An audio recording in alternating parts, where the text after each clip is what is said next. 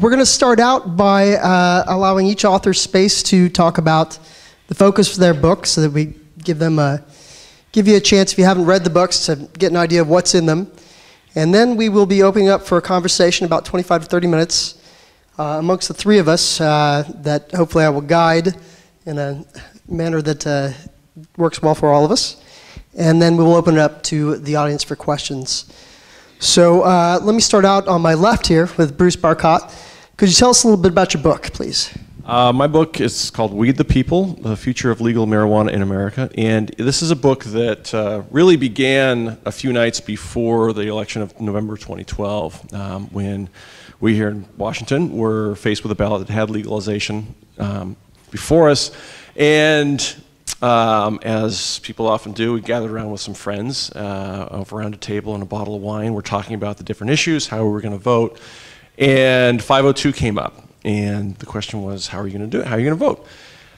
My, I was very much on the fence. Um, my inclination was to vote against it. Pot wasn't my thing. I hadn't really used it since college. Uh, I had two young teenagers, and um, you know, frankly, I didn't want to. I didn't want to smell the stuff. um, but uh, a friend of mine said, "Look, this is not a vote about whether you like pot or don't like pot. This is a civil rights issue. Um, there are it's a whole generation of people who are locked up for this substance that's really um, less dangerous than alcohol. And um, uh, I went away, thought about it. I, uh, I thought she was probably right, and I held my nose. I voted yes. Um, the next morning, woke up, found that we had legalized marijuana, and wondered what in the world did we just do. Um, so I really spent the next two years trying to answer that question. Uh, um, my background is as a, a, science writer. I'm an environmental journalist, and I really sort of dove in with that with that background. And I thought there could be a really good book in this, essentially because I have no dog in the hunt. Like if marijuana disappeared tomorrow, it wouldn't make a big a difference in my life.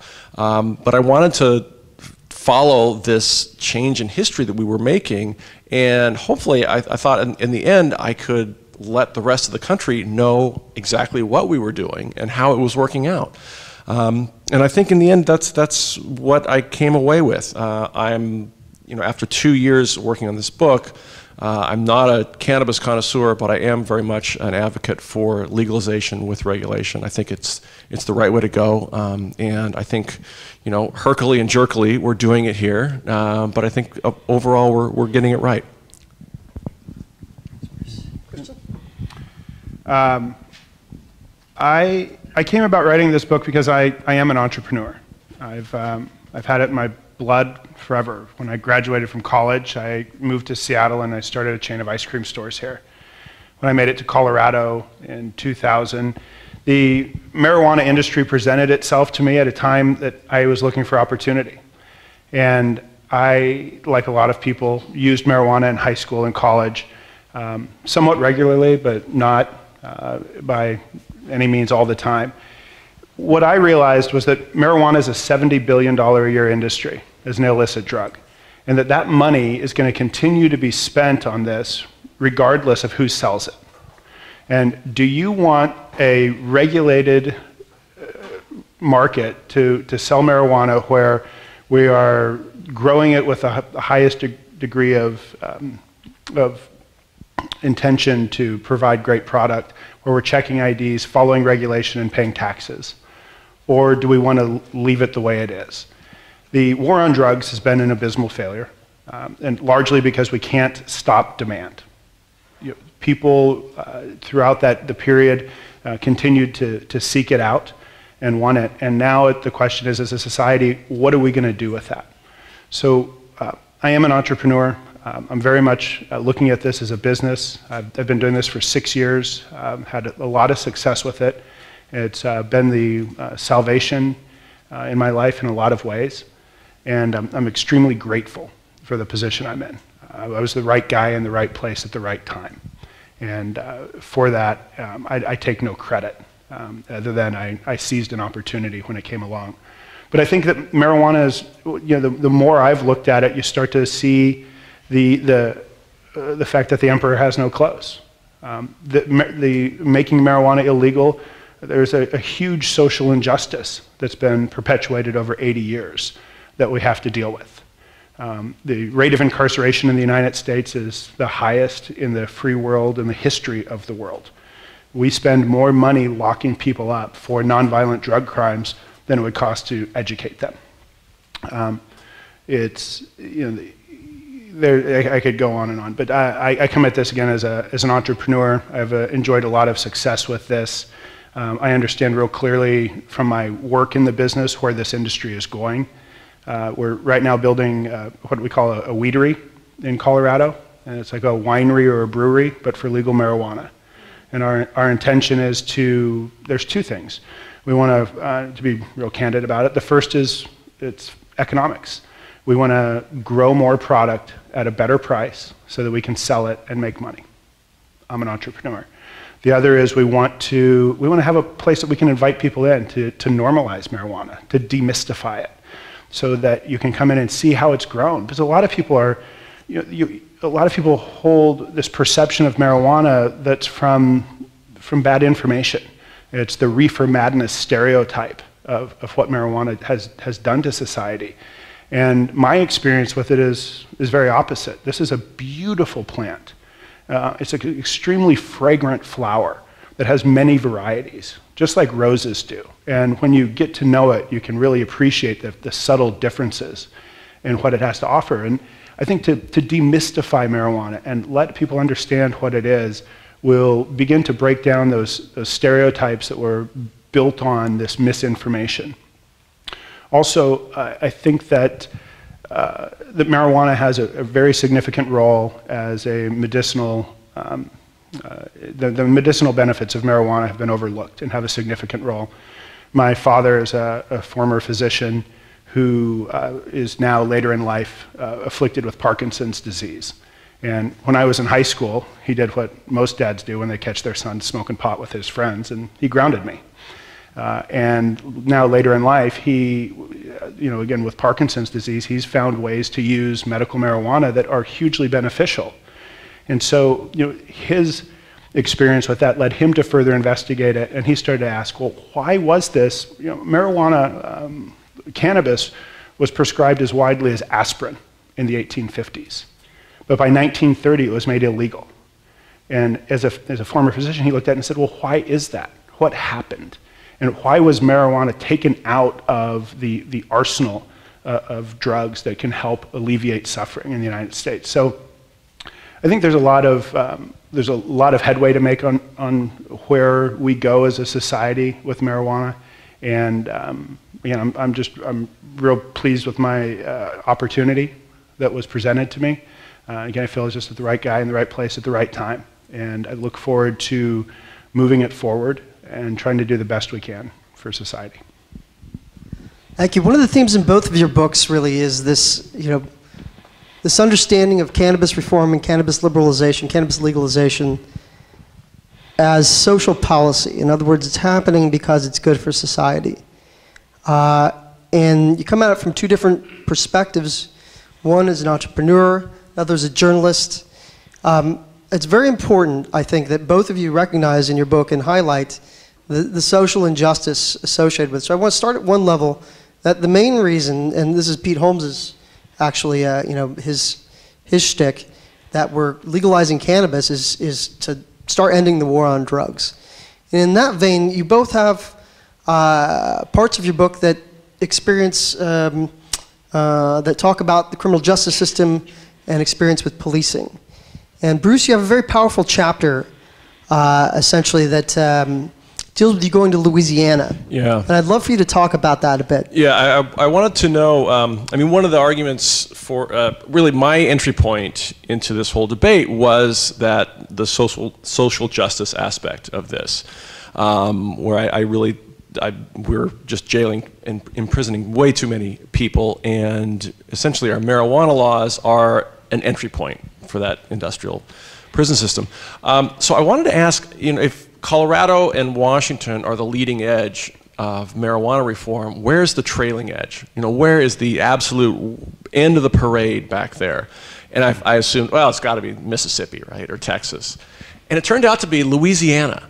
And it really surprised me because, you know, we associate Louisiana with Mardi Gras, New Orleans, good times, strolling down Bourbon Street with a hurricane, right? Um, no, Louisiana has this strange history with marijuana going back to the 1920s.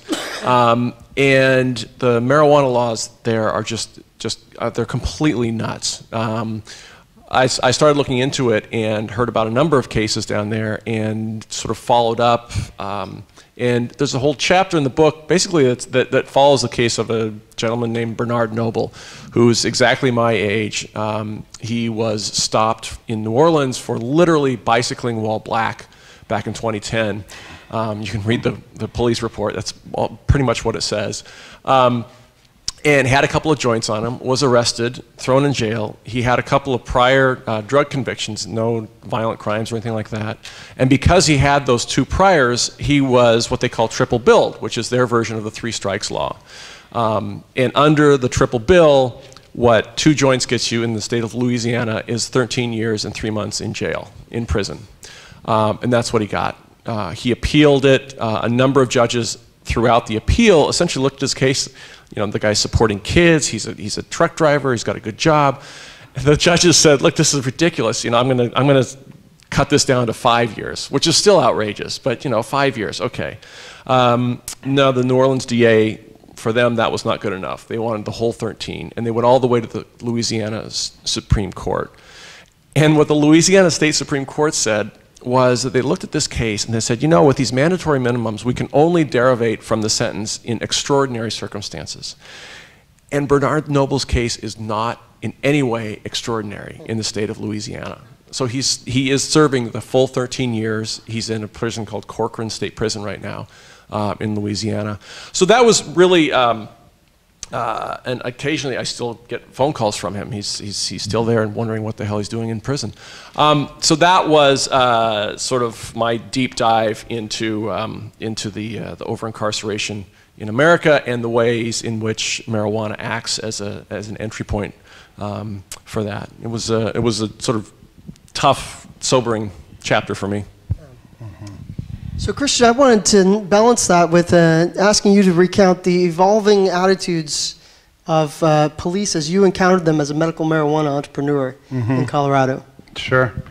Uh, in my book, uh, one, of, one of the points I illustrate is that when I first got into this in, in 2009, they, it was very unknown. And one of the great unknowns was that law enforcement, and I really mean the, the the, the people on the street, the cops on the street that are charged with really doing something with what's on the books, didn't have a lot of background information, and they were very frustrated by it.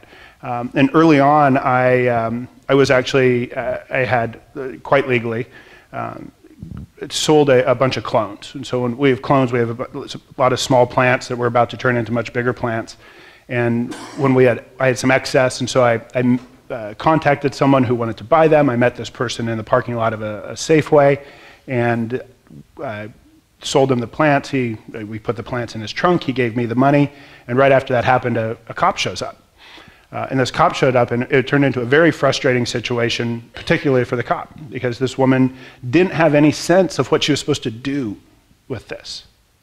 You know, here, you know, two years ago, this was completely illegal. Like if you catch somebody with marijuana, it's, it's simple. You throw handcuffs on them, you put them in the back of your cruiser, you take them down to jail, you arrest them, you get a felony, and there's probably some like police pride in being able to book a felony. And the, this, this officer now was really frustrated because when they, she pulled up, he, she said, well, what are you doing? And again, I have a, a policy of being open and notorious about everything that I do. And so she said, well, what happened? I said, well, he and I both have our medical marijuana cards, and I just had some excess plants, which I sold him. The plants are in his trunk, and his money's in my pocket. Right? and she looked at me, and, and, and we pulled out our IDs, and it was an ID and, a, and our red card, your medical marijuana card. And we both handed this person, this cop, our, our, med- our IDs and our medical marijuana cards. And she was like noticeably pissed, very uncomfortable. But it was because the world around her was shifting. You know, when you were, if you got into policing, you wanted to go and catch the bad guys. And the bad guys are the people who break the laws. And the laws are those things that are written on the books, and it's really clear it's black or white. And for her, she was in this very confused state, and she uh, ends up going back to her car and spending like 15 minutes in her car, at which point I was absolutely convinced I was about to be you know, thrown into Cochran State Prison for 13 years and three months. And um, so I'm taking off my, my watch and putting my wallet in the car and getting ready to be arrested. And she finally comes back up and gives us a very short but stern lecture on that really reflected her frustration of being in this world that it was evolving with change. Um, and then juxtapose that with uh, several years later, uh, which is about 18 months ago now, uh, we were burglarized uh, for the fifth time. And at this particular burglary, I, I got a call in the middle of the night from our security company and says, Mr. Hageseth, uh, you know, digital safe security, your, your alarm's gone off. And they start to recite the different alarm zones that's happened. I pull up my iPad, and at this point we have, we have a lot of surveillance cameras that's all state regulated. Um, the benefit of having those is that I was able to see the criminals get away.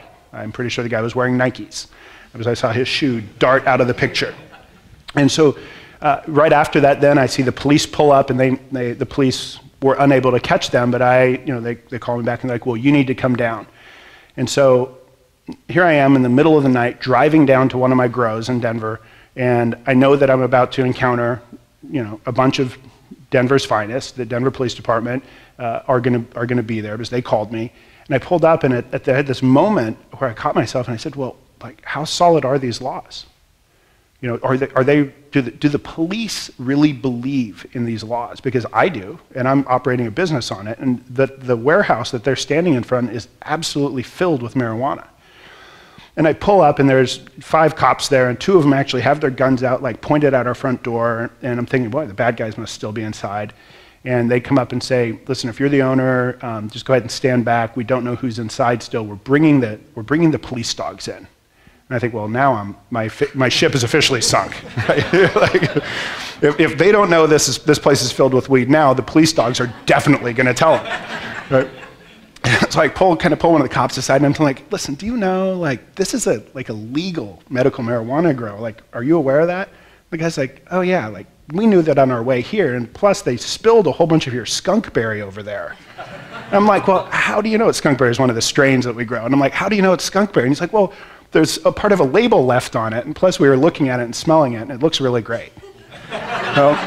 and so these, the cops then end up, this second time now, they, they end up holding me out because they want to bring the police dogs in and sweep them through all of our locked rooms, which are all again filled with growing marijuana plants, and make sure that none of the bad guys are there before they, they let me in there. And so in the, in the first example, uh, in, early in my career doing this, I was, I was confronted with a very frustrated police officer who was really uncertain about how to do her job because the world had changed around her. Her job was to enforce the laws, but the laws were changing, and they're in this point of flux that she wasn't able to really understand what her role was. And in the second occasion, it was long enough that the Denver police had gotten very clear on what marijuana was, who we were as legitimate operators, how to tell us apart from the, the illegitimate operators. And when I got there, I was really greeted as a, um, as, a, as a business owner, as one of the good guys, and they were there to assist me and make sure that the, the, the bad guys were in fact gone, and then to help me to secure my, uh, my premise and property. Um, so it was a, a, big shift of perception, I believe, on, on the part of law enforcement over that short period of time. Um, but then I think probably a reflection worth early in this too is that very early on, when I was hiring our first grower, I encountered a young man who was 27 years old, and he was probably pretty qualified to do this, but he had just finished eight years in prison. And the reason was is that when he was about to enter his freshman year of college, he was growing marijuana in his garage, and the feds came in and busted him, and he did eight years of hard time in federal prison. And I looked at this guy, and you know, at the time I'm in my mid 30s, and I'm thinking to myself, like, this guy, he could be me. He's a, he, he, he, he was, uh, he was a nice guy. He, he presented himself well. He was articulate. He had spent eight years in federal prison. He had no tattoos. He had told me he wasn't part of any gang. And that really that his, his whole life was derailed from the fact that he was growing this plant. And he did it knowing that it was illegal. But he spent eight years in prison. And during that eight years, life had changed around him again. And, the, and now when he got out of prison, he went to prison for growing marijuana. When he got out of prison, he came to apply for a job with me to grow marijuana, but legally. And so I, um, again, very much appreciate the fact that I do everything, what I do every day is I do it with a license that um, has, has really changed the, that, that legal makeup. Yeah, we sort of uh, operate in this strange flux period right now where it's there are time warps sort of all around us, little pockets, right? Because mm-hmm. there, when I was finishing up this book, um, I got a call from the legal department, and um, this is published by, by Time Inc. and their legal folks back in New York were really nervous, and they said, "Well, did you get did you get releases from everybody you know in your book who's quoted and you know as being in the marijuana industry?" And I'm like, "No, like that's it's not how journalism works." Um, but really, everybody who's in the book is, or you know, is open about what they do, and and you really ought to actually come out from New York and see, you know, spend time in Denver or Seattle and, and see how it's going out here. And they, they, it took them a while to adjust to that, um, that idea that, that these people are op- operating, you know, not just state legally, but as you say, openly. And that's part of the, the strategy is to, to, to operate openly um, and above board. But there are these weird little pockets that still exist. Um, you know, they exist in Louisiana. Sadly, you may have heard about the case in Kansas. They exist in Kansas in, in a real way. You know, there's this 11 year old kid in Kansas a couple weeks ago who basically spoke up during a, a, you know, a drug lesson in class and said, well, you know, my mom uses medical marijuana and it's actually a medicine for her. Um, well, basically, the cops went to his house that day and arrested the mother, and, mm-hmm. and it's, a, it's, a, huge, horrible fiasco. Um, but those, those, you hit those little pockets here and there. Um, I was in uh, Washington D.C. about two weeks ago, um, and I had some time to kill, and so I looked up. I said, "Well, wonder where the DEA is. Where are they located?" and they're outside DC at the uh, Pentagon City Station. Yeah, and I went to, they actually have a little museum there, a DEA museum, and it's fascinating. If you have a chance, you should really go. It's just this time, it's probably no bigger than this room. I mean, it's, it's really small, but it's amazing um, because you walk in there and there's the, the, the exhibits are, are really interesting. Um, there's a lot of like old smuggling stuff, you know, people's hollowed out shoes and, and this sort of thing. But what's incredible is to walk in and the introduction to the museum, um, they have an, a steel crack house door, you know, from the 80s where there's a slot in there and everything. And next to that is a medical marijuana dispensary door. And I was just, I was just like, really? Really? Like it's 2015 and this is, this is the exhibit you have up. I mean, I, I, wrote a little piece on it, and you know, medical marijuana now is polling nationally at 86% acceptance. Like, and I said, you know, that's that's, that's higher than apple pie and the flag. And I actually, because they want links to it, I actually found polls. Apple pie is like 13% of pie lovers love apple pie. The flag, you know, who knows? But but there is, you know, we operate, we live in this, these bubbles of Seattle, these bubbles of Denver. But yeah the old world is still very much alive out there. You know, the world, old world is, but it, it also changed. I mean, uh, Georgia passed a medical marijuana bill in the, in the last week. Um, Utah, uh, you know, is working on a medical marijuana bill as well. So there, there is a shift in ideology that's going where I think that, you know, again, the, the war on drugs has been an abysmal failure. And as you start to see, you know, I, I think this room, uh, you know, if we were to pull this room, you would say, well, how many people in here have had experience with marijuana? And how many feel that it, it, it, meets all the, you know, all the messages we've been given by the, the federal government uh, over the years, or how many believe that it's different? And I think it's that, that reality that we're like, you know what, my experience with this drug does not match what I've been told. And so we need a new way of thinking about it. And so that shift in perception is coming. It just comes slowly, you know. And again, our our elected officials, like in Kansas, you know, you get a sheriff who's got a who wants for wants to be reelected and is looking at I need to be hard on crime, and this is a you know this is probably a Christian county, or I mean, gosh, you know, who, who knows what axe he's grinding. Um, uh, Chris Christie right now in New Jersey is a perfect example of that, you know, and it's like there, yeah, there's political yeah. gains to be made yeah. by being hard and, and that's, crime. That's one of the questions. I'm sure you get this as well. One of the questions is, well, why is why are these states legalizing and the federal government's doing nothing? And it's still um, you know, nobody was ever lost an election for being too tough on crime, mm-hmm. or, or, most, you know, it's it's um, there's still for a lot of politicians, at least back in Congress, it's it's a, it's a third rail issue. You know, they're yeah. really afraid to touch it. Well, I mean, uh, it's interesting that you should speak in terms of pockets of uh, you know because I think of actually just completely separate ontological realities occupying the same space, and even in Washington State where we just recriminalized medical marijuana in the last week. You know, like uh, Utah is going forward with medical marijuana. Georgia and in Washington State, we just created two new felonies for medical marijuana patients in the last week, our legislature. So there's, there's, if you look at what the legislature, how they talk about it, how they think about it, it doesn't sound that different from what you would expect to find in Kansas or Louisiana. Mm-hmm. They're still terrified of it. How, how are we operating in these totally separate realities but in the same space? And, and your books, I think, both really speak to, uh, you know, the unwillingness to face being wrong that we have mm-hmm. a, a difficulty with in the United States. What does it mean to actually admit that reality is not what we've thrown people in jail for for 40 years. Mm-hmm. Uh, and I'd love to hear your guys' thoughts on that. Uh, it's it's really hard to admit you're wrong. I mean, it's we have a new, you know, we have the current DEA leader stepping down this week, yeah. right? Um, sometimes what it takes, look, sometimes what it takes. I mean, this is this is in a completely different sphere, but um, you know, I've been working on a book on uh, the Boldt decision for years and years now. It's still coming. it's a long book. But, um, you know, for an entire generation of state leaders here fought that decision. For a decade, they fought it. And the state only really came around to embracing that decision and working with the tribes after that generation of people retired and went away. It, they, they were never going to turn on that issue. Uh, it was just, it was just too, too much a part of them. And you know, maybe a new DEA leader can turn, you know, turn toward progress a little more than, than the current one, you know, mm-hmm. just because they're new and they're coming in.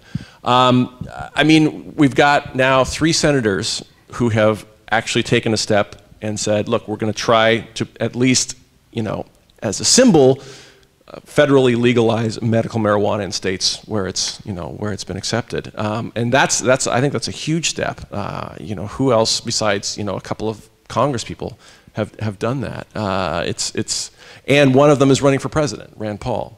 So that's you know a, a, small step, but there's still a lot of things that have to occur. One of them, I think, the idea of your weedery is absolutely the way to go because I can't tell you how many how many um, you know, uh, grow houses or processing facilities.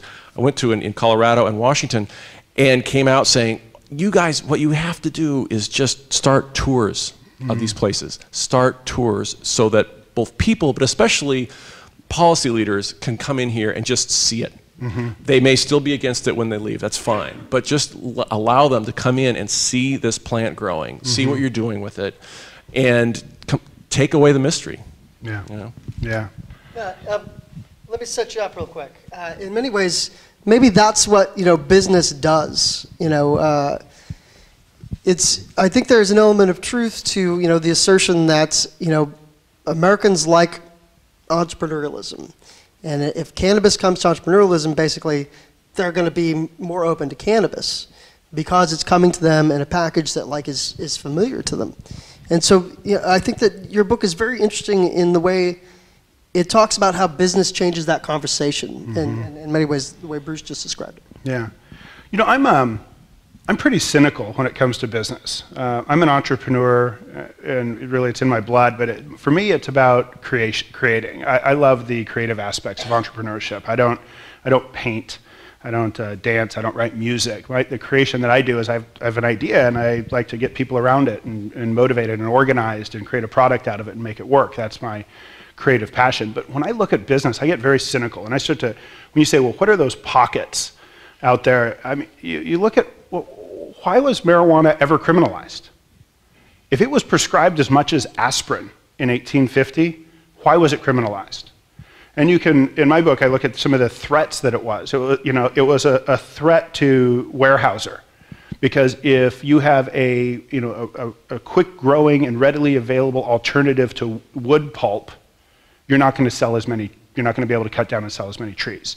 Um, it was a threat to DuPont because they were coming out with nylon at the time. And again, if you have a, a, a natural fiber that is going to do that, you, have, you only have so much big of a pie and it's going to be less. And so you would start to look at these other business interests that are out there and you'd say, well, why don't these people want this, this otherwise naturally occurring plant that we've lived besides for tens of thousands of years, so much so that we have uniquely have you know, chemical receptors in our brains to, to use the, the active chemicals in it. Well, why is that? And again, I get very cynical about that. One of the things we were talking about uh, backstage before this was the, that in, in Washington, my understanding, and please correct me where I'm wrong here, was that there's the, the difference between medical and recreational stores. In, in Colorado, if you were selling medical marijuana, you were, we were the first ones welcome to sell recreational marijuana because we were doing it, we were established, we understood the business, we were operating. Uh, in Washington, they said they went the other way, and they said, no, if you're in medical, you can't be in recreational. And it's because the folks in recreational that, that were advocating for that felt that these people would be a, a, a threat to them. And again, I come at, I, I, I gave you the, the, early description of. As an entrepreneur, this is more of my creative passion in life than to be a, uh, you know, I'm, I'm, not a greedy, I'm not a, a greedy businessman so much as I love to create, and I create through business. And the, I think that one of the, the, the cynicism I have around business and those pockets is that a lot of people get into business to enrich themselves. And you can enrich yourself by making your product acceptable and the other person's illegal. And there's been a lot of history of that, especially around marijuana, as a medicine, as a fiber, as a fuel, as a food. And you all can see it right now in Washington because of what's happened between the medical dispensaries and the recreational dispensaries. There are forces in business that will actively lobby at the highest levels and push money into elected people's pockets to benefit themselves. And there is a root of evil in that activity that has to be addressed. And I believe that uh, that creates some of those pockets.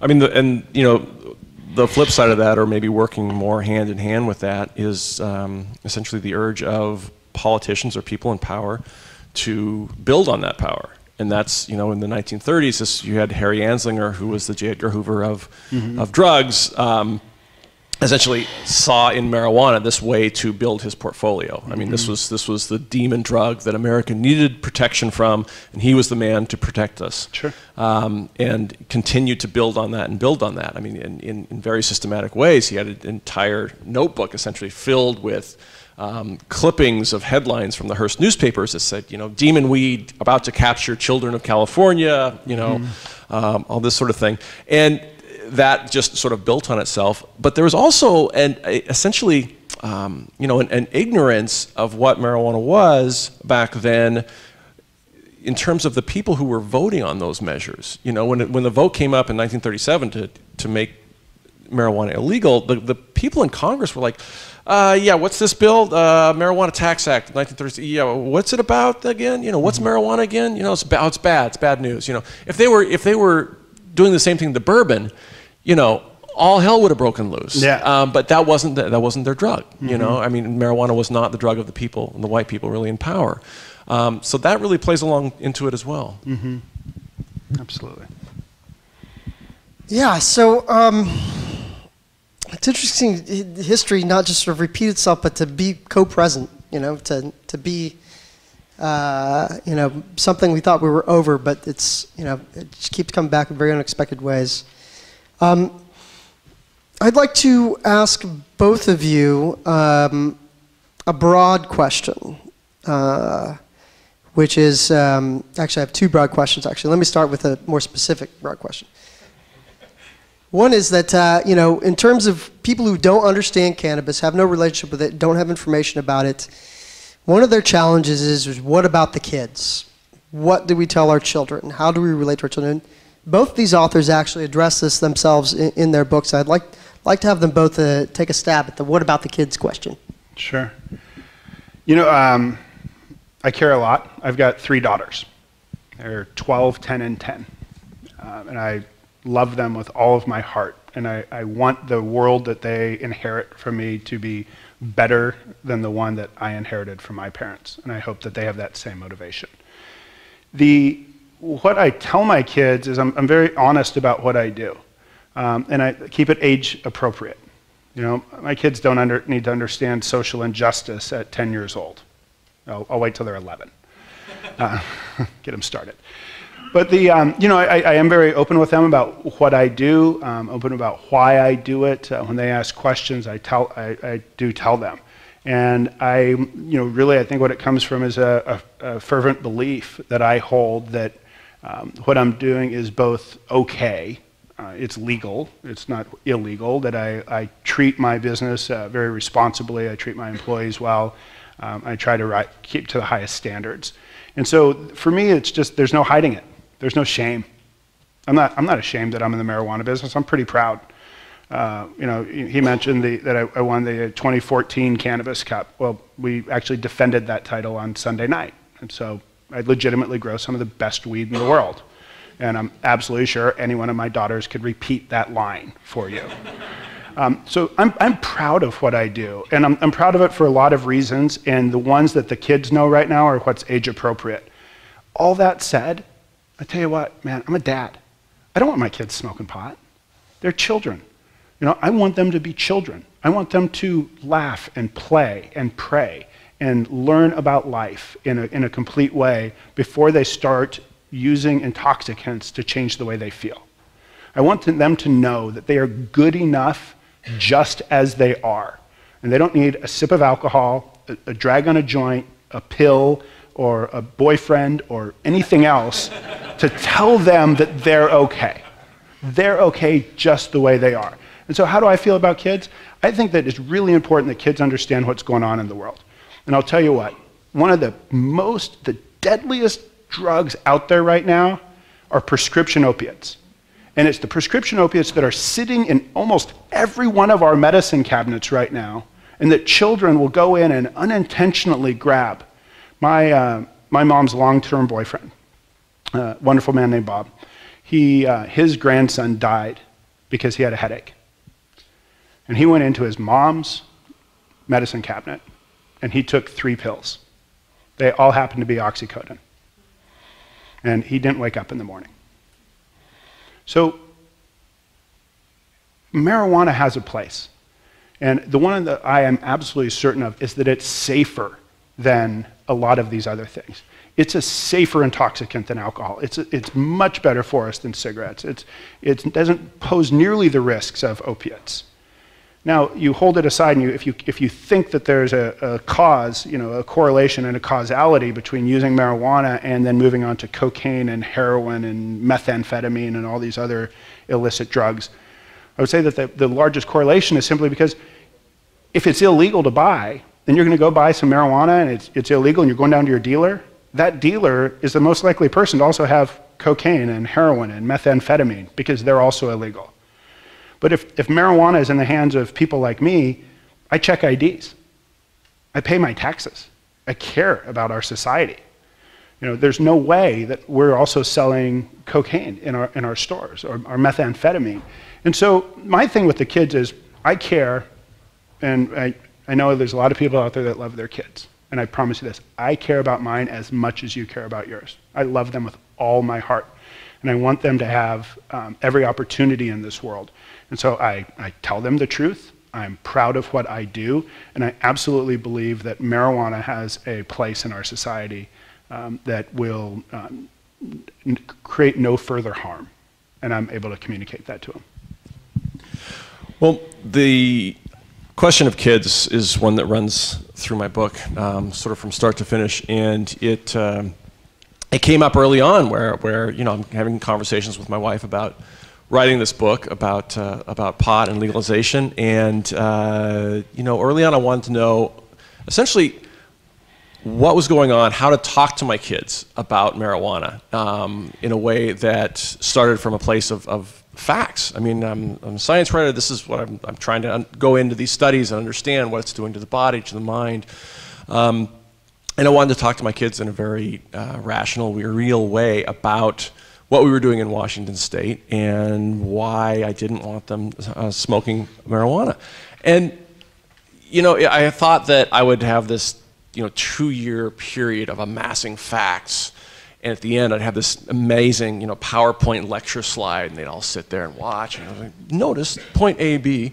Um, but really, what happened was essentially the, the conversation started early uh, when I when I was first pitching the book and, and sold it and started writing it. Um, and uh, because our daughter and son, our son's now 13, or my daughter's um, 16, they would essentially say, So, how's that pot book going, Dad? They thought it was hilarious that their square father was writing this book about, about weed.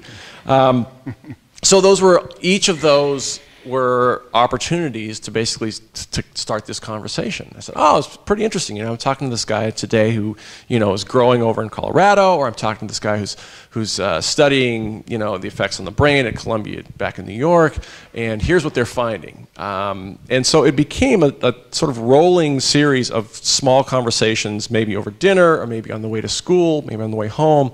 Um, and it turned into, it, it sort of broadened the scope of um, conversation where it starts with pot, but it opens up into alcohol and it opens up into sex and, and, and difficult conversations that nobody likes to have with their kids, or at least nobody likes to start them.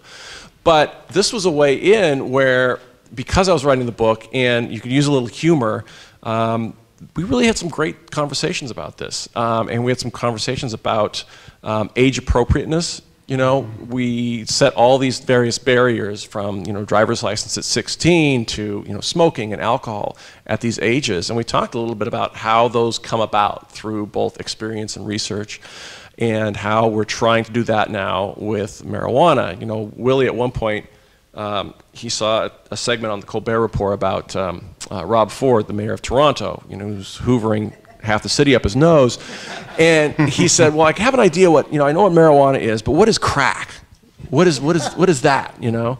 And I said, okay. So we put it on pause and I saying, look, we got this huge spectrum of, of drugs that affect your body and mind. You know, over here we've got um, Coca-Cola and caffeine, coffee, aspirin, Advil. Um, you know, working our way up toward, toward prescription drugs, and and um, for the longest time we basically put marijuana way over here um, with you know, heroin and, and cocaine and meth. And I said, well, and by the way, here's what crack is, you know. Um, but now, really through research and experience, we're moving marijuana over into this other category, more sort of in the alcohol area. And we're trying that, and we're going to see if it works. We don't know if it's going to work yet, but we think it will.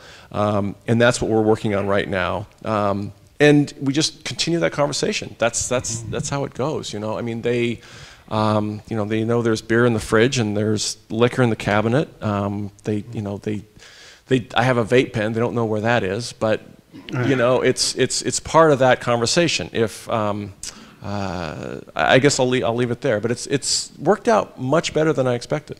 Mm-hmm. Well, let me ask both of you actually along those lines, um, because this is often, you know, um, I think comes up as, as, an issue in both of your books, and certainly under, understandably so the question of edibles and uh, the practice in, in Colorado, uh, as well as here, of, you know, having a cookie that's seven servings, right? Like a, mm-hmm. this is like a 100 milligram cookie. Who in their right mind breaks that cookie up into like seven pieces and takes it? Uh, and so, like, that sort of, you know, uh, how, how, how has Colorado dealt with uh, the, the edibles question, even though it was a little bit ridiculous with the Maureen Dowd stuff. Mm-hmm. But I, I, I want to ask him, where have you guys gotten, I guess, uh, yeah. with that? Uh, has anybody ever had a bad edibles experience? Anyone? Yeah. There you go. Yeah. Right. yeah. I love cookies. Like, you're not going to tell me, especially when I'm high, right? You're not going to tell me to have one eighth of a cookie. So, um, Colorado, we've had a lot of bad experiences with this, to tell you the truth, and it's, uh, it's been challenging. Um, but I'll tell you what, if we go to a bar tonight, right, and we have one ounce of spirits, five ounces of wine, or 12 ounces of beer, we all have an expectation that that's one drink. And we understand, like, I can have one drink and still drive, and I'm going to come in under that 0.08 limit. So I understand that there's an industry out there selling me intoxicants but I have a way of knowing what I'm getting out of it. So when you say, what has Colorado done with this? We've, um, we kind of got out to this crazy start. And there's these things called decas, and they were uh, Chiba Chews, which is basically a Tootsie Roll that had uh, 10 servings of, um, of THC in it. So if you ate one of these things, um, and assuming you weren't a rhinoceros or an elephant, you were going to be on your ass. I mean, these things were potent. You start looking and say, well, who, who needs 10 servings of these in, in one of those? And so there was a lot of negative experiences uh, that came around just that, that I, I over ingested. Um, and that, again, it has a, part of it has to do with the way edibles, you know, it, it, takes a lot longer to, for the onset. You know, you, you smoke a joint, you hit a vape pen, and you pretty much know in three to five seconds if you've had enough. And if you've had enough, you just stop. It's one of the beauties of marijuana. Um, but with edibles, it's, you know, 45 minutes on an empty stomach, an hour and a half if you just ate something else. And so you, you know, you eat it and you're like, well, this isn't kicking in. And so you finish the rest of that eight serving cookie. And then all eight servings kick in. And then you're just like, I mean, you're wondering what happened. And so um, Colorado, only now on recreational actually, went to a, they mandated a 10 milligram serving limit. And again, I think that gets back to that you know, an ounce of spirits, five ounces of wine, 12 ounces of beer. If you know that one serving, which is in one complete piece of product, mm-hmm. is, is one, then, and you understand what, how that affects you, then you as an individual can develop reasonable expectations about what this intoxicating thing that's being sold to you will do. And that's a responsibility that uh, I believe that, you know, that, that I, I hold, that we hold as uh, members of this industry where we're producing these products, is to produce products that are understood and safe for consumers, and also to um, you know to make to be reasonable about what it is to, to use our products. Uh, I certainly don't want anyone you know using too much of whatever we're doing and, and driving a car and, and doing something stupid. You know, we want to we want yeah. to create a good situation. Yeah, it's funny. You know, I think um, the week that Maureen Dowd's column came out, if, uh, I think most of you are familiar with it, but basically Maureen Dowd wrote a column um, probably April mm-hmm. last year, something yeah. like that, where basically she she said, look. Entire column was all about her bad trip because she ate the whole candy bar mm-hmm. um, in her hotel room in Denver, and eh, she was the butt of everybody's joke for a whole week. Mm-hmm. But I t- I'm telling you, Maureen Dowd gave the entire industry in both states an incredible gift, and that was just to, to put it out there and say, look, this is this is real, this is happening. What are you going to do about it? And honestly, I, I, I, am you know glad. I think Colorado really stepped up and did something about it. You know, the governor appointed this task force. They went immediately on in, into these rules about packaging and dosage, mm-hmm. dosage, and this sort of thing, um, because it is a problem, and it's a problem for a couple of reasons. I, I mean, not a problem, but I think it's a challenge, mm-hmm. right, to, to get this right. A, because the federal government has made it so difficult to do research on pot in, in a variety of ways, uh, nobody had really a lot of data to go on in terms mm-hmm. of how this stuff affects affects people. Um, and then I think you have a lot of newcomers or people who are coming back to marijuana after you know leaving it in college. And for them, smoking is not a pleasant experience. So mm-hmm. they're just like, oh, well, yeah, cookie, sure, let me take that. But like you say, you know, imagine going into a, a, a bar and ordering daiquiris, and they are delicious but they're not going to kick in for 45 minutes, right? right? So, so give me another strawberry daiquiri. This thing's yeah. great, right? And then, oh my God, an hour and a half later, you are really um, the floor is rolling. Yeah.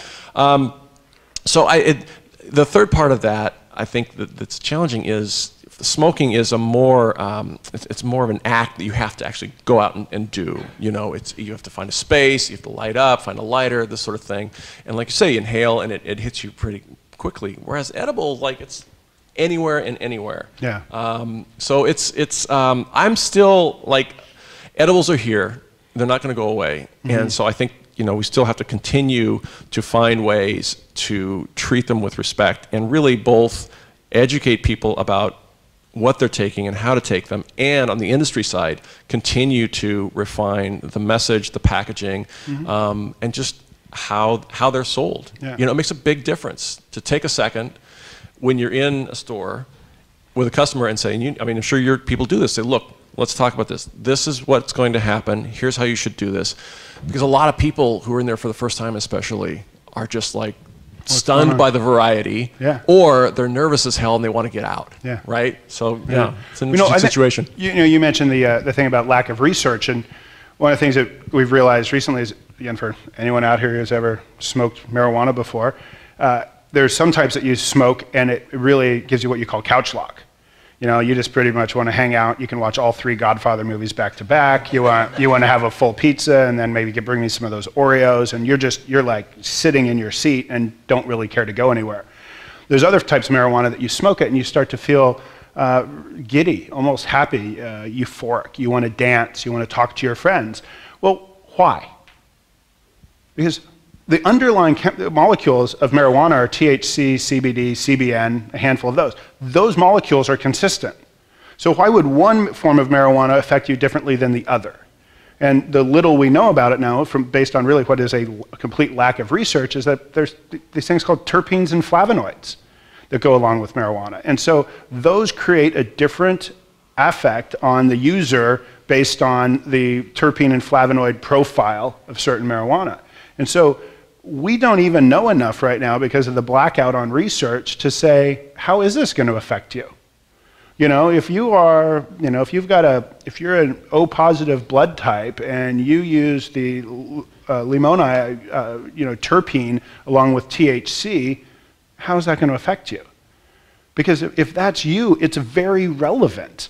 Uh, but again, mar- marijuana has been blacked out for a long yeah, time. Yeah, and it's you know right now, basically, I'm sure you have this this this reaction, but right now I feel like I'm this weird little um, hub of information mm-hmm. in our community. Like people stop me in the grocery store in the produce section and say, you know, everything from you know my my father's got you know arthritis or something. And he, he's looking for a topical. What can you tell me? Yeah. To you know asking me about the difference between um, like a vape pen and smoking the full leaf, which is a really interesting difference. I feel mm-hmm. like the, the vape pen's much more of a like a sip of wine, right? Yeah. It's very thin and then, depends on and, the battery you're using. Well, yeah, okay. yeah. but they're very different and it right now that's still just neighbor to neighbor, friend it to is. friend knowledge. You yeah. know, and and the research angle is opening up a tiny bit, but it really is. It's still incredibly difficult to, yeah. to get anything greenlit. My uh, uh, good friends and my neighbors. Um, he is the director of neurosurgery at the University of Colorado, the Anschutz Medical Center, where they do it's the medical research hospital in Colorado,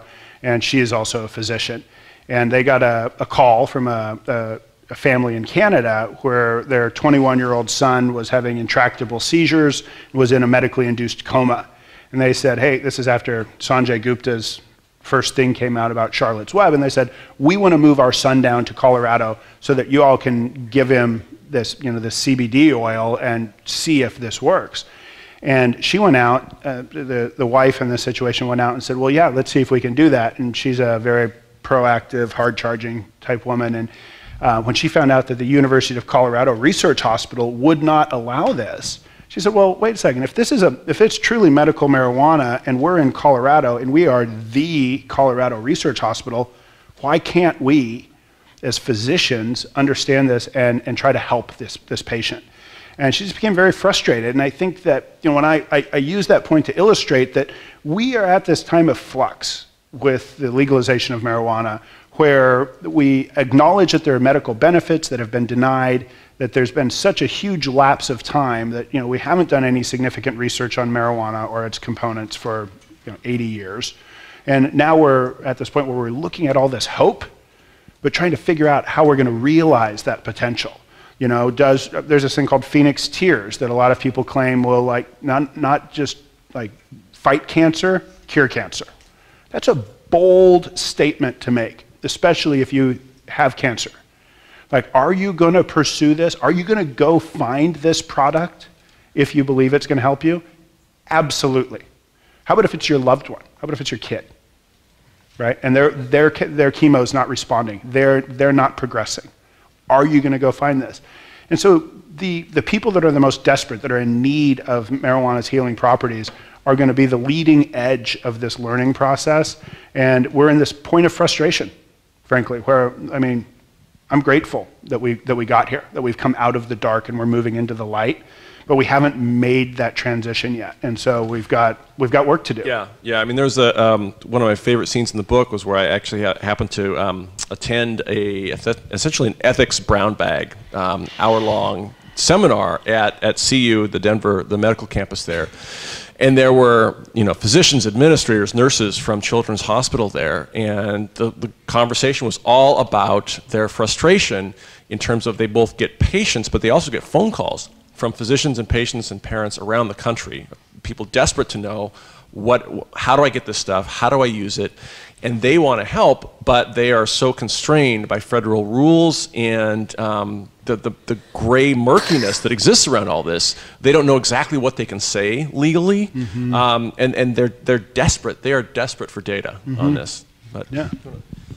Yeah, I mean, there's a there's a very interesting quote that I've been I, I'm copying and pasting it around the internet from your book, Bruce. Uh, uh, that speaks to this really interesting situation where we've got actually cannabis entrepreneurs who are providing the medicine essentially because the doctors don't want to take risks and the universities don't want to take risks.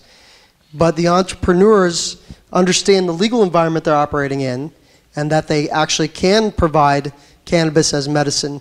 And this is one of the really the the big problems in Washington state right now is this whole medical marijuana is a farce. The system needs to go away because every, uh, it's all fake and it's just a bunch of stoners. And there's a quote in your book where you say, "What if I had had it? What if I, I've had it wrong? What if it's you know the stoners that keep coming in to buy the weed that are providing the economy so that patients can actually get affordable medicine and yeah. often free medicine. Yeah, that's that's one of the you know one of the questions I, I went into the book with. It's like, look, is this really just sort of a, a, a beard for stoners to get their to get their weed, medical marijuana?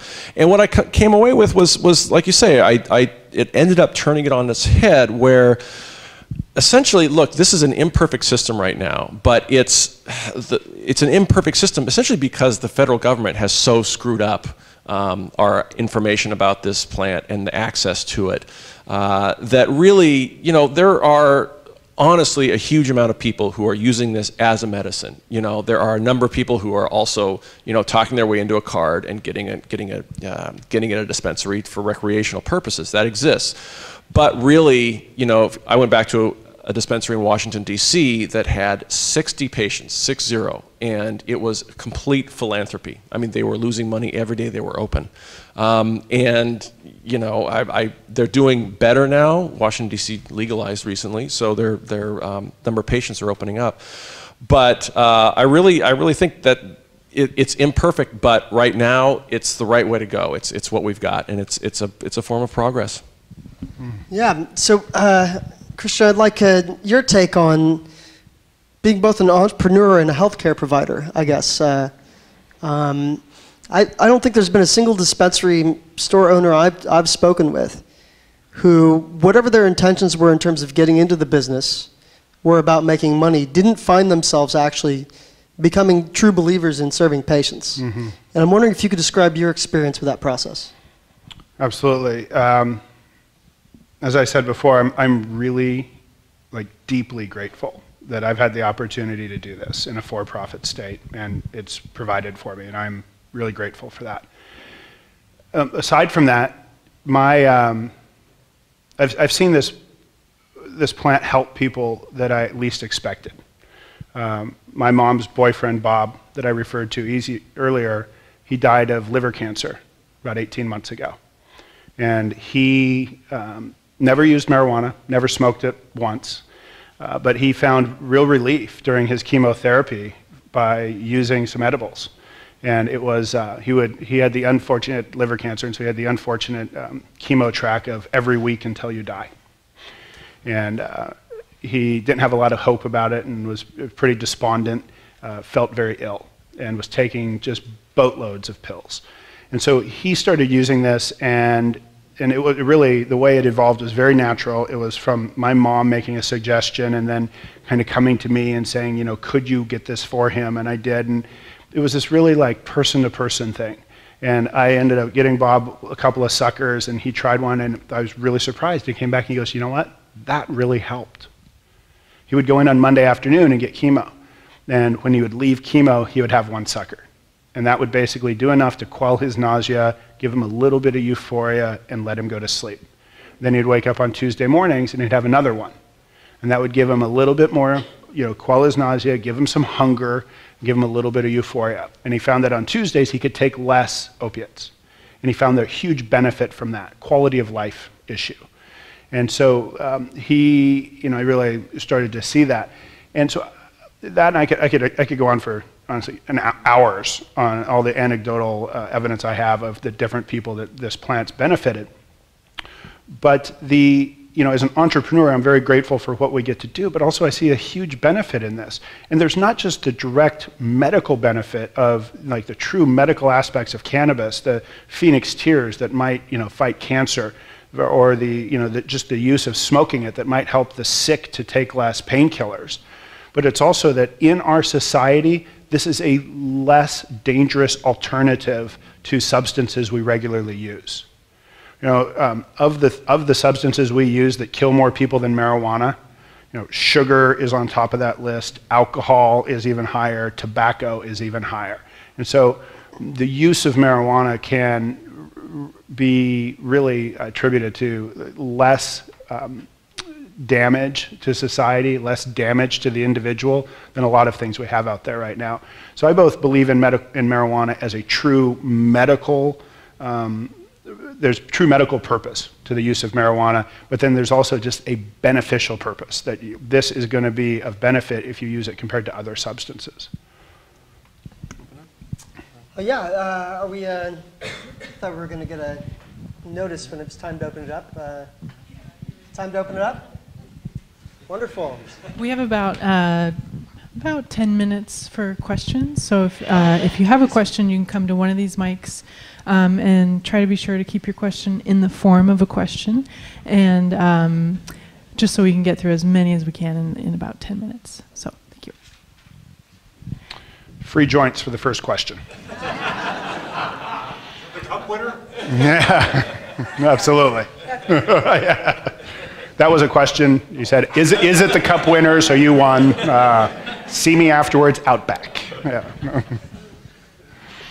you could rephrase it, what was the cup winner? What strain? Mm-hmm.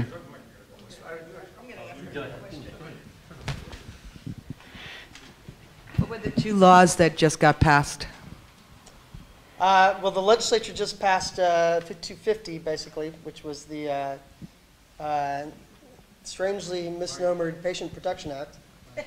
Uh, uh, and uh, it wasn't that there were two laws that were passed, there are two new felonies created at the state level that basically are redundant because we already have them as felonies at the federal level, but somehow we needed to create two new felonies for the transfer of medical cannabis, transfer and distribution or production of medical cannabis that is not registered with the 502 system. So we have two new classes of felonies at the state level recriminalizing medical cannabis. It goes into effect July 2016. So you won't hear about it tomorrow uh, in, in, your face, but this is what's been happening in the legislature. stage for farmer to win, don't you? Um, you, met, you mentioned the almost schizophrenia, the different realities of what we're coming to know here and the rest of the country, let alone the world. I've talked to a number of people from here that now have to be a little careful when they travel out of the state because they see things. But within this state, where you know the majority of the folks voted for it, at the local level of activism, where you're trying to deal with the local governments that are being obstructionist, not giving permits, you know, raising the bar like crazy, quadrupling the cost of putting it in the in this county. I'm noticing the same thing, and I, I just want to throw something out with the fear, because the idea of being educating people through experience seems huge, but I have a question for you. I am seeing otherwise intelligent people, in many cases my neighbors, absolutely freaked out about what this is going to do to their property values, what it's going to do to their kids, what it's going to do to the morals of their community, and uh, what it's going to do with respect to Uzis going off in the neighborhood. And we're, we're trying to fight that with fact-based arguments, but it's not working uh, thus far.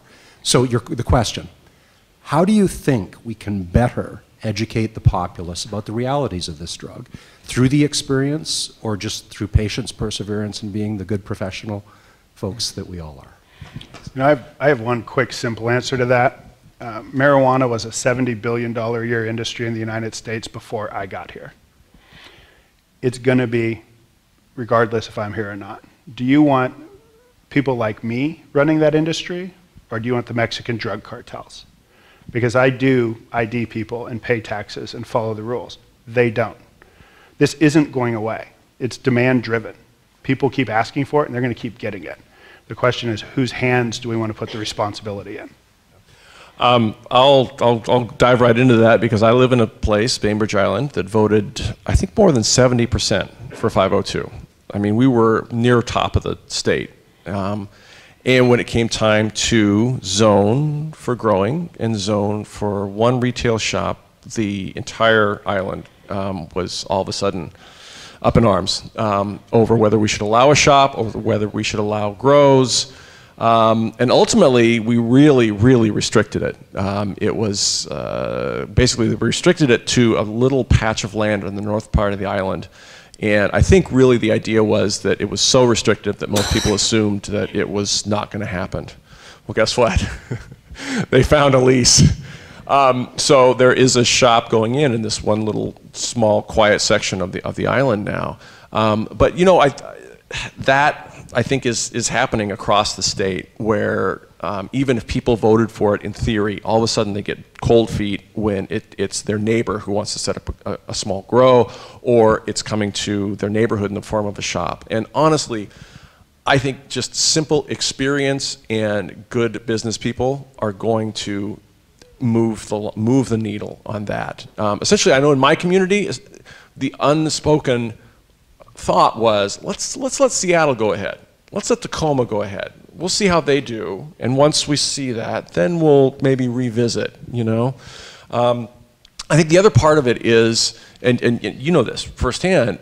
If you're in this industry, your job is retail politics you have got to go out and meet the leaders in your community, meet um, not just the elected leaders, but the vocal leaders, the people who are the networkers. Show them who, the, who you are, what your intentions are. You know, if you're from that community, let them know, look, I'm your neighbor. I've been here for 20 years. I live, I live down there on this, on this street. Here's why I want to do this. Here's how I'm doing it. Here's why I think it's going to be a benefit. Because I've seen the other way, where people who have the license don't show up and it's a big mystery. And as soon as it's a big mystery, then at the absolute worst nightmare in everybody's head is who they picture running this business. And they, they literally like picture the Hells Angels coming in every Tuesday and Friday to pick up. So I think time and good business um, and, and openness really, really will help. But it's, it's, it's a difficult situation right now. Yeah.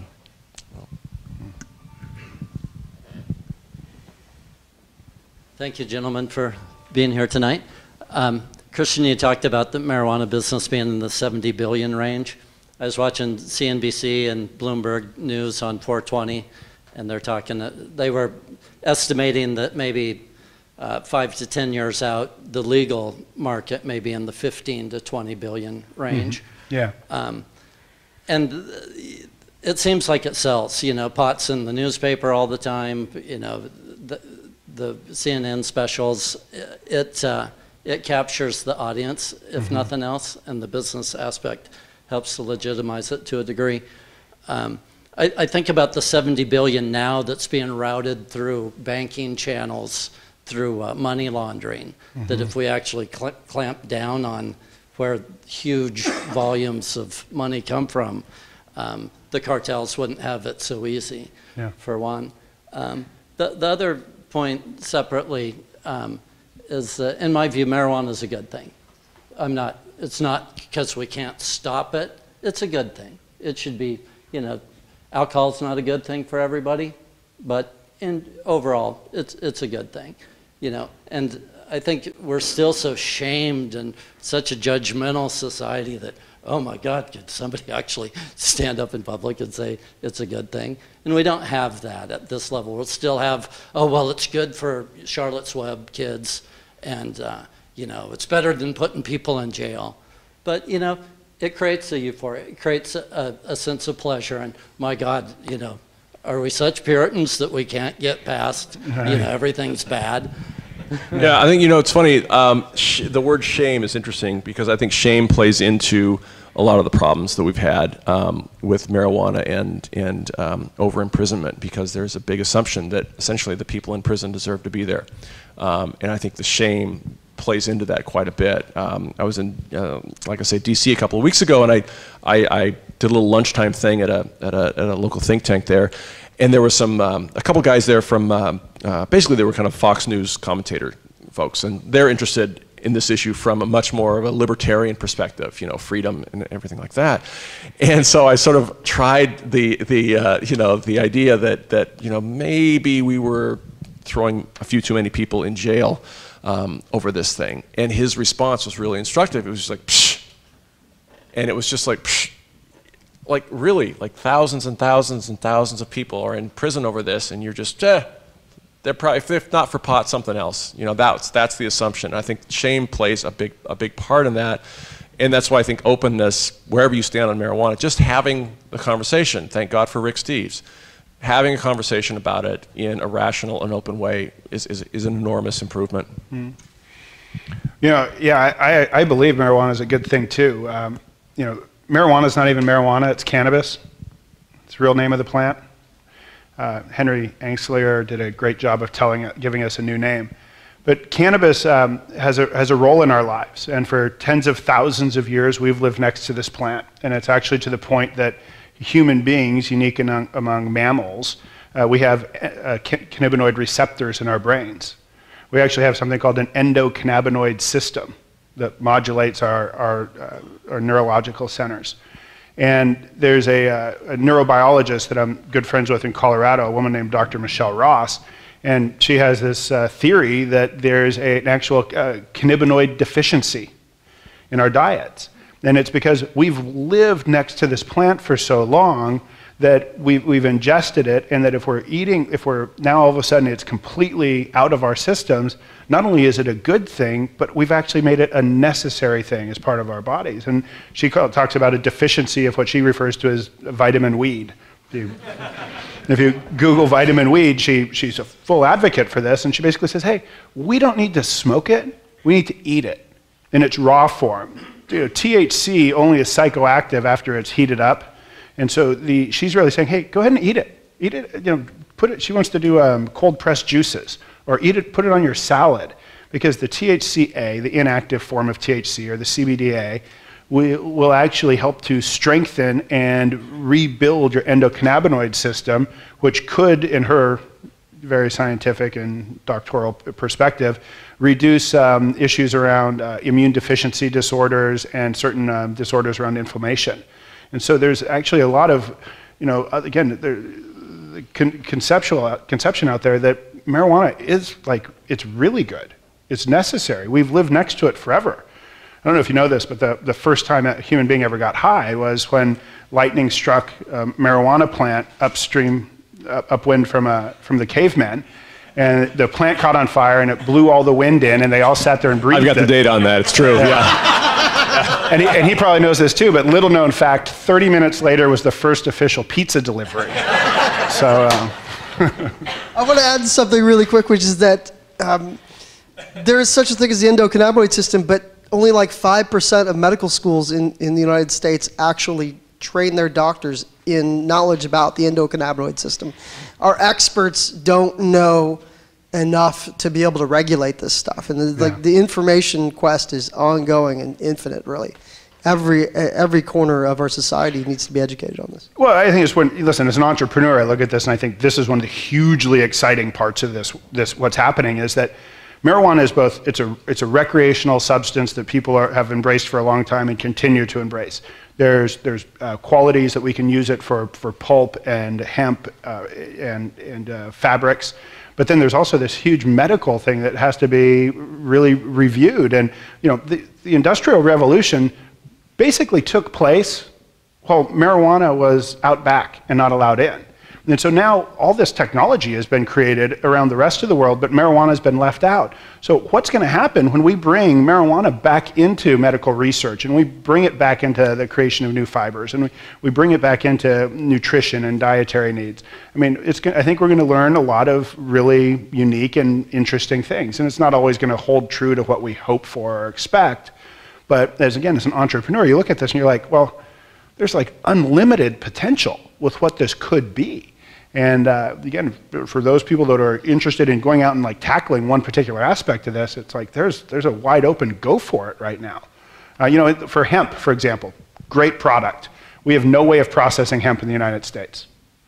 All the all the machines that we use to process, you know, wood and wool and all that don't work on hemp. It, the, the, the, the fibers are just different. And so, here's if anyone is an entrepreneur out there, go put the machinery together to, to, to, so that we can turn hemp into useful products. because it, they don't exist in the U.S. right now. I do know a guy in Colorado that actually has made that machine. Oh, never mind. Question, question. Um, we, there's kind of been this undercurrent that we're moving toward the light of acceptance and progress forward. How do we avoid backsliding? And do you have any concern that with change of administration, we could take a step backward? And, and again, how do we avoid get going in the wrong direction? You know, a year ago, I thought it was a real, it was really a, a toss-up. Um, I thought we had three years of the Obama administration to try this out. You know, a year later, I don't think it's that simple. I think it, we're moving far enough and fast enough that whoever the next president is, it could be really difficult to, to, to say, no, this is over, we're, we're clamping down, uh, especially because I think most people expect California to pass legalization in 2016, unless factions go against each other. you don't. Oh, let's open that up. Um, but I, I, I, the, the main thing I think is uh, for Washington and Colorado to succeed, um, kids are the flashpoint. I think, um, and kids, a combination of kids and edibles, I think right now are the flashpoint, and that could go could go wrong. Um, but I'm much more hopeful than I was a year ago.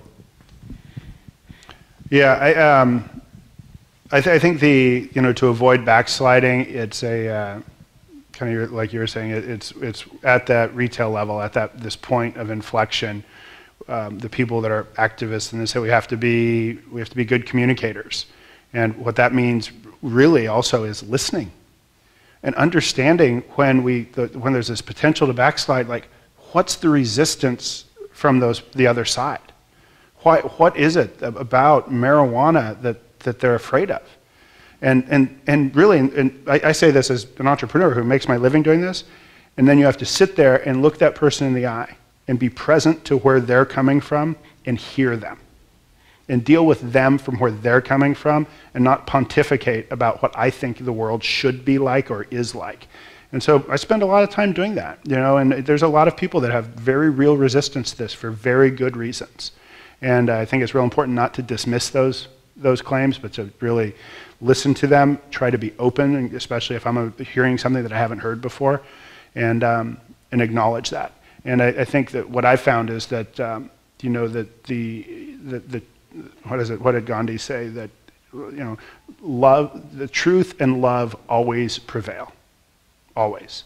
And I really believe that this is true. And, I, and, as long as I'm you know, continuing to do my work with love, I think that we will prevail. But it's really important that, as the, that, that not step back is that we as, an, as a movement don't get self righteous about the fact that I'm fighting for the good guys. Because if I'm fighting, I'm fighting. Right? Even if I think I'm a good guy, like, I can't fight. It has to be collaborative. We have to win people over with, with reason and with love and with facts, not just, you know, I'm more right than you are. So. Yeah, I actually want to want to build on that real quick with, and, and say that I think that the peaceful, you know, mode of communication is, is incredibly important. I think that it's easy to get angry and frustrated, uh, especially at people who just don't know any better. Uh, it's harder to sit and listen and have a dialogue. And you know, one of the things that you know cannabis culture brings is this history of being a peace movement, right? Well, one of the things that's backfired, I think, in Washington State, which is not to like you know let the legislators off the hook and so forth, is that we've become divided and we fight, we've fought amongst ourselves in, in terms of a, a peace movement, uh, and. It, uh, our face has not always been a peaceful face down there in Olympia. And I think that it has worked to our disadvantage. Uh, and honestly, I think, um,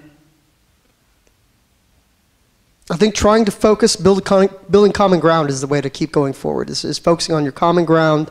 Take every little slice of common ground that you can get and hammer on that uh, rather than uh, amplifying uh, your differences. Because I do think that when people find common ground on one thing, it makes it easier to actually like create more common ground.